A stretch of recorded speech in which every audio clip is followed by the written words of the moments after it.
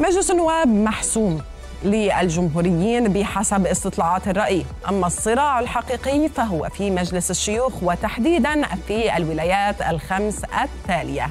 نيفادا جورجيا ويسكونسن بنسلفانيا وأريزونا. في نيفادا توجد أربع مناطق انتخابية للجمهوريين. أفضلية الفوز في المنطقة الثانية. أما المنطقة الانتخابية الرابعة فستذهب للديمقراطيين الذين يمتلكون أيضا أفضلية طفيفة للفوز بالمنطقة الأولى. ومع بقاء المنطقة الثالثة غير محسومة لأي من الطرفين.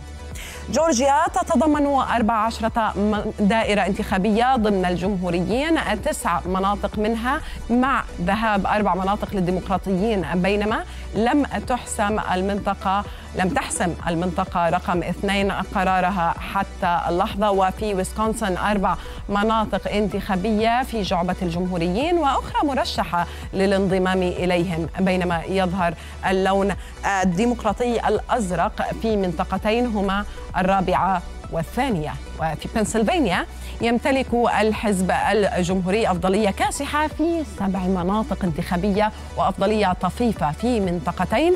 أما الديمقراطي فهو مرشح للفوز بأربع مناطق انتخابية ومفضل للفوز في منطقتين إضافيتين مع تبقي الصراع مفتوحا على كل من المنطقة الثامنة والسابعة عشرة. تسع مناطق انتخابية. أريزونا مناطق انتخابية اكتسى اللون الأحمر الجمهوري على ست مناطق منها.